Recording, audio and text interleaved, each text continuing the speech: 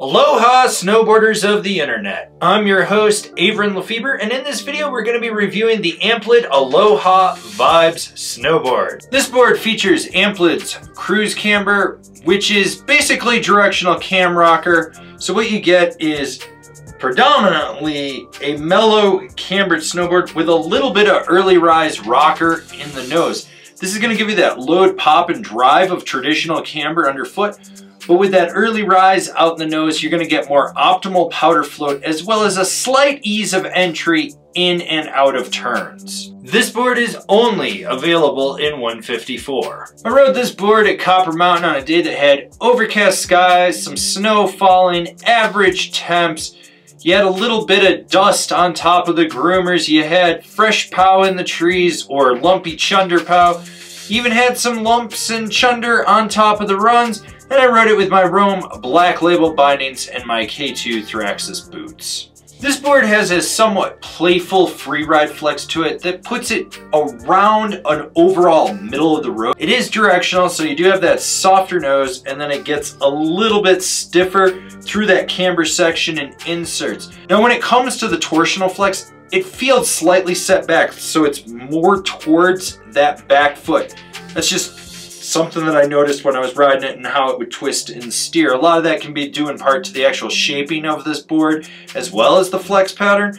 And when it comes to stability, it's moderately stable because you've got this width. Obviously, you're going to get some chatter in the nose and a little bit of that will resonate back onto the front foot. But through the insert pack, it's it's stable and a lot of that is due to the width as well as the camber profile on it. This is a board that will plow through heavier snow and it doesn't get bucked around too much in ruts and chunder like other boards in this category. What's nice about this board is you have a wider platform with a mellow camber to engage with. So loading it up really takes no effort at all and the snap is there. You'll notice right away that it does rebound, it pops. Is it the most snappy board in this category? No. Does it get the job done? Yes. It's easy to launch a cat track gap, a side hit, ollie over a family of fat skier people, launch a little powder popper. You don't really have to worry about it with this board. One thing to note with buttering on this board is obviously you want to do it on the nose just with the directional shape of this board, the swallowtail and whatnot.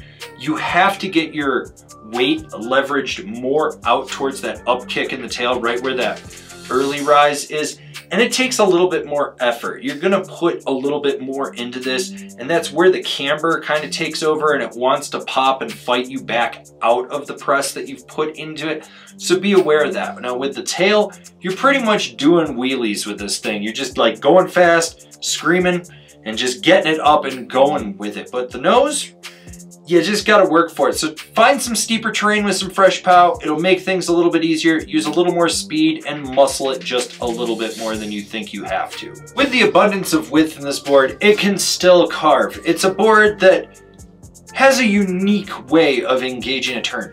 It's quick and nimble off the nose when you engage, due in part to that micro rocker in there, but then it slows down as you get closer to that front foot and that kind of takes over and it makes it more mellow and nuanced. But then, as you flex it from inside the front binding back through the tail, you can be a little bit more aggressive with it and get it to load up the tail to give you that energy to shoot you out of a carve, to give you that little slingshot effect of it. Now, is it going to be the best board for deep, hard, aggressive carves? No, but it can handle them. Its strong suit are those medium mellow setup turns where you're on edge or those elongated carves where you're just swooping from one side of the trail to the other but not leaving a trench. This thing isn't really a trench layer as more of a carvy cruiser. So who's this board for? It's for the resort ripping, tree riding, free ride pow chasing guy. There's something about getting on an Amplid snowboard that's just comforting. You know you're on a solid board and it feels like you've ridden it for a hundred days, whether it's your first day or it is your 100th day on it. They just have a unique feel to them that's all their own and it's great. It truthfully is. What I liked about this board is it's quick and nimble in the trees. It has great powder float. It's fun on edge. It's surfy and laid back, but you can attack your turns if you absolutely need to. It's one of those boards that just kind of fits in that amalgamation of party board slash powder resort carvy cruiser. You know, you can kind of just do anything with it. Comparable boards, the Korua Dart, the Nidecker Mosquito, the Salomon Sick Stick. Binding recommendations, the Ride A8, the Now Select, the Rome Katana. This has been my review of the Amplid Aloha Vibes. Do you agree? Do you disagree? Do you own one? Are you gonna buy one? Leave me a comment down below. Let's have a conversation about this snowboard. If you're new here, remember to subscribe, click the bell, get those notifications. That way you're not missing any of the videos we got coming out for all you snowboarders of the internet. And if you really like what we're doing over here and you want to support us further, swing on over to Angry Snowboarder VIP and become a member. Sure, I could tell you more here, but I got a video over there that explains it so much better. As always, I've been your host, Avran LeFeber, and I'll see you in another video.